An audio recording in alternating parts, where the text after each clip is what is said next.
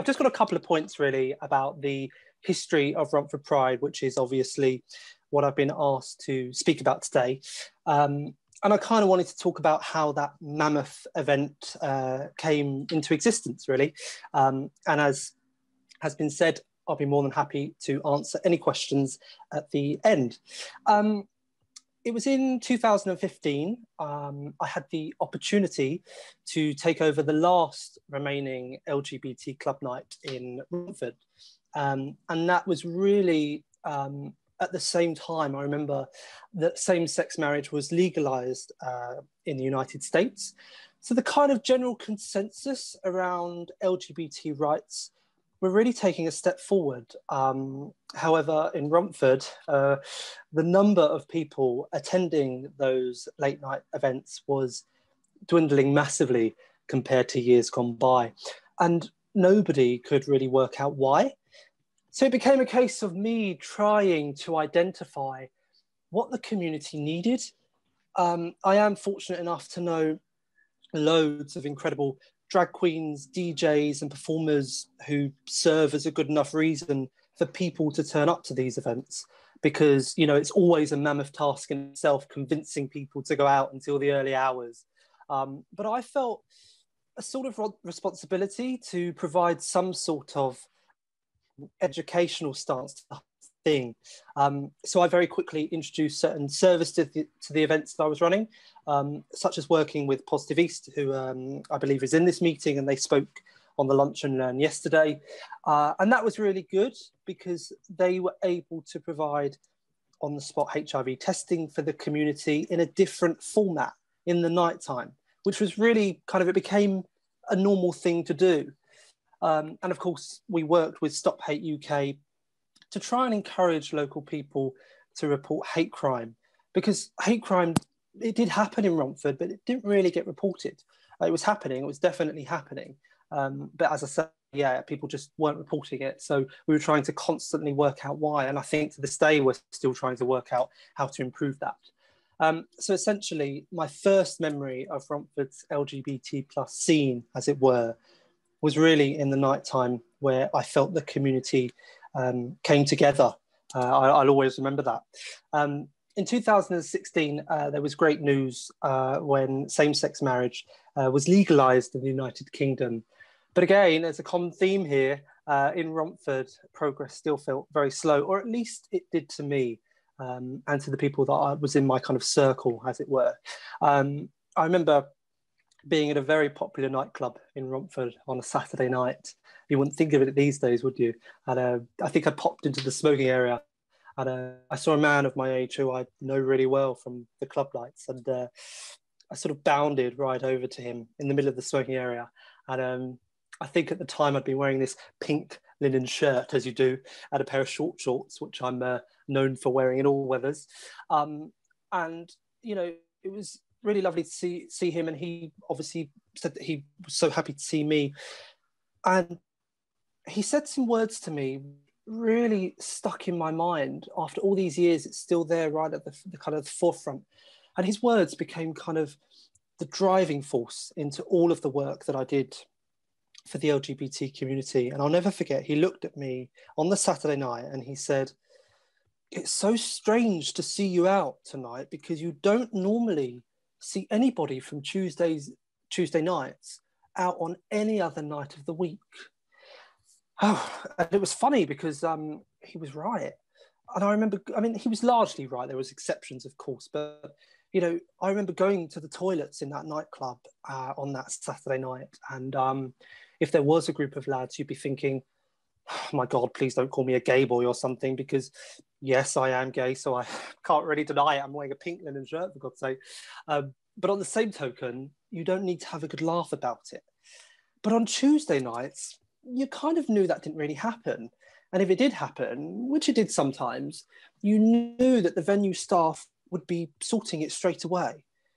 So I started to wonder, stood there in that smoking area years ago, what would give LGBT people more exposure in this area so that we could showcase our concerns and worries. And that's, of course, when I thought uh, Romford Pride. and then, of course, the first ever Romford Pride took place on Saturday, the 28th of July, 2018. And if I were to go into the full detail about how much effort went into producing that event, I mean, I'd still be talking next February uh, and you'd all be sleeping probably. Um, what I do remember, uh, as is true for all of the Pride events that we organised, is that um, I didn't sleep for three days before. And I think that's quite a talent, actually. It was really by chance because um, I remember it was uh, January 2018, and I just so happened to be cleaning through my junk folder, which I do every few 10 years or something.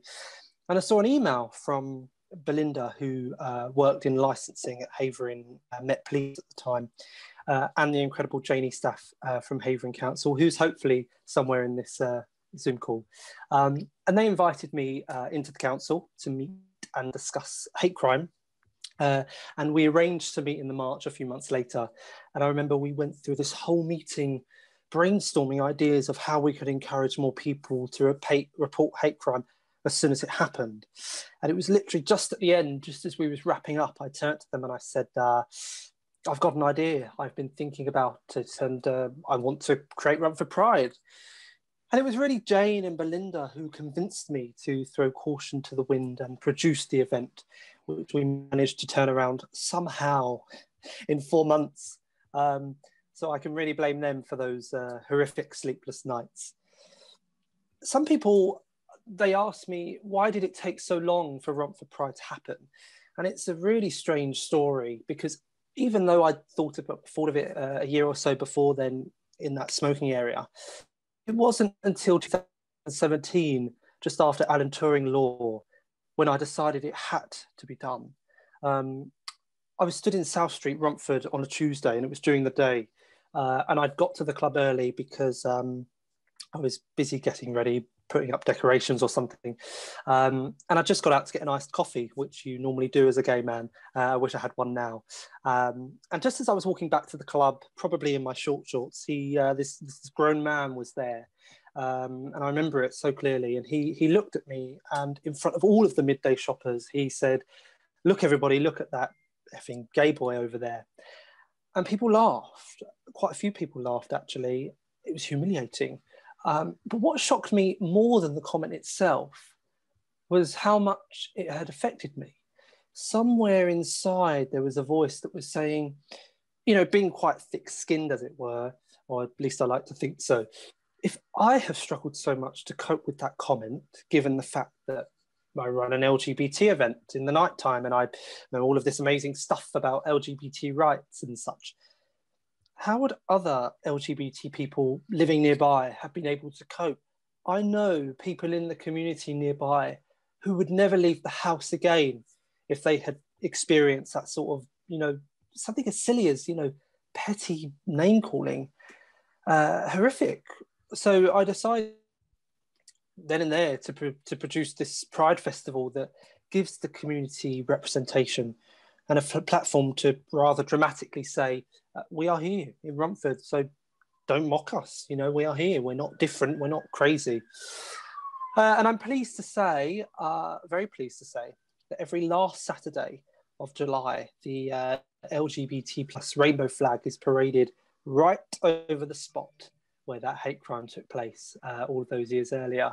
And that always brings me great joy. Uh, it's funny speaking about hate crime because I do sometimes the in the LGBT plus community, we normalize name calling hate crimes as something we should just expect. Like it's a rite of passage. Everybody goes through that. It's nothing new. But stood there on that day uh, with my iced coffee, I didn't agree with that. I thought we don't really deserve to have this. Not not not not here. Not in Romford. And that is why it takes place in South Street rather than some faraway field or in the market. Because I always felt that we needed to put Romford in the Romford Pride right in the middle of the street, very visible to everybody, and where it could not easily be avoided. I mean, we closed the bus route for the day, it definitely can't be avoided. And hopefully that exposure has helped to show that Romford's LGBT plus community does very much exist even if you don't see us in a smoking area on a Saturday night. Um, between the first and second Romford Pride, my Tuesday club night moved to Yates Bar on the corner of South Street and it rebranded as Lollipop Nights. And as in the years before, every Tuesday night we would all meet on the dance floor, dressed up how we wanted and celebrated uh, being who we are.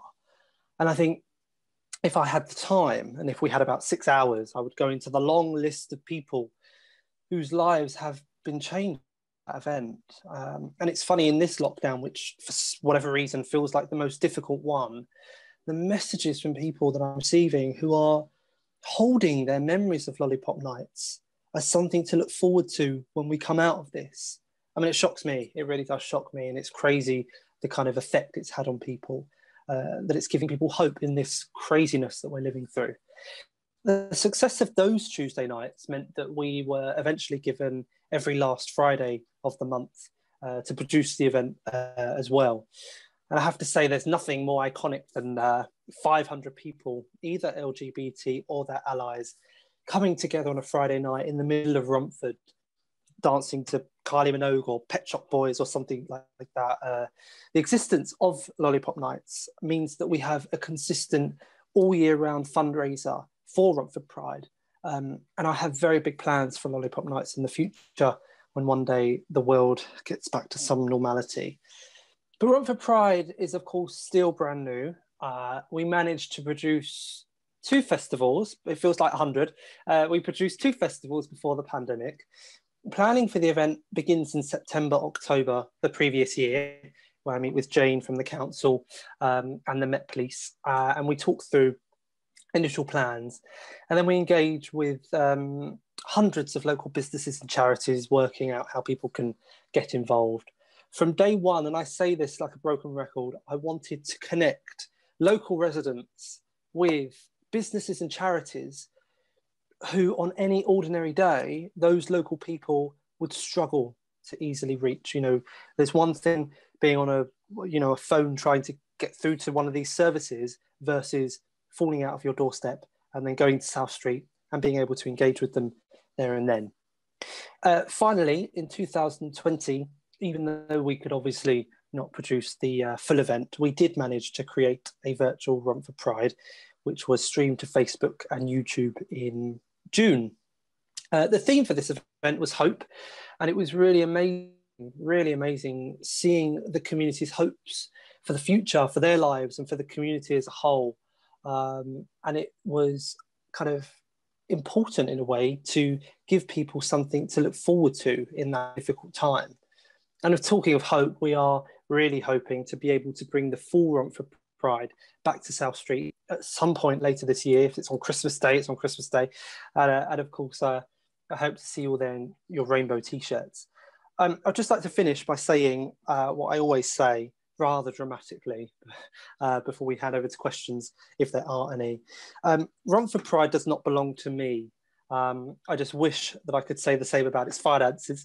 Uh, and in fact, all I've done is really manage somehow, I don't know how, to provide a platform for the people who do the hard work and the people who have done the campaigning and the people that have come before me. And from the first day that I started running that club night back in 2015, I've always believed that it should be the community who are focused on and put first, because it is those incredible people in the community who have been able to make Pride in Romford. Thank you.